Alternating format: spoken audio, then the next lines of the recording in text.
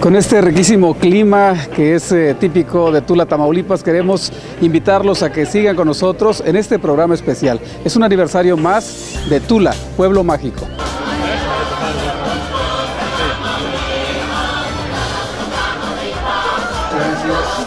El otate es parecido al carrizo, parecido a tiro más, es un poco más duro, un poco más cerradito.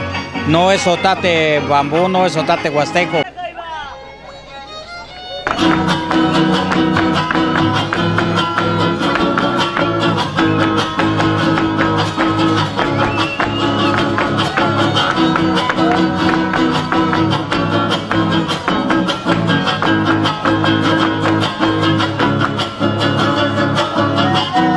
Cómo es que has aprendido esta técnica? Bueno, esto es muy fácil, la verdad, es muy fácil aprender esto. Solo es cuestión de paciencia porque poquito que se te mueva se deforma la pieza completa, pero es fácil. Nada más es cuestión de tener mucha paciencia para poder realizarlo. ¿Qué opina la gente como tú que está dedicándose a esto, eh, el que se realicen eventos aquí en el municipio? Pues para nosotros está muy bien porque así atraen el turismo, entonces viene mucha gente y este, consume mucho lo que es el barro y todo. Bueno, los artículos realizados con barro y sí lo llevan mucho para lugares de fuera.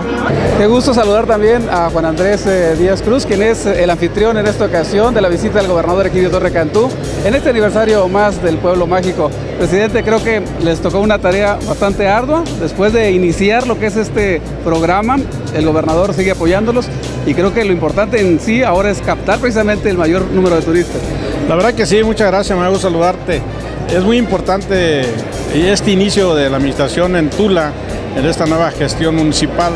Eh, efectivamente, Pueblo Tula denomina Pueblo Mágico, eh, con el gran respaldo del gobernador Egidio Torre Cantú, que debo resaltarlo especialmente en esta importante visita, pues viene a inaugurar la primera etapa de infraestructura urbana, empezamos la segunda etapa y iniciamos, se inicia un proyecto también de un corredor turístico que se llama el Arroyo Loco.